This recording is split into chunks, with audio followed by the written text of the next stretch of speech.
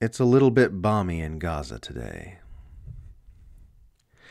It's a little bit bomby in Gaza today. At least that's what the newsmen say.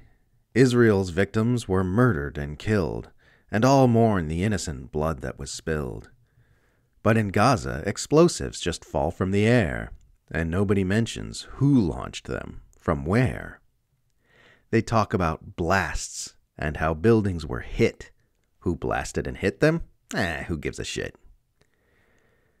It's a little bit bomby outside. That's the weather.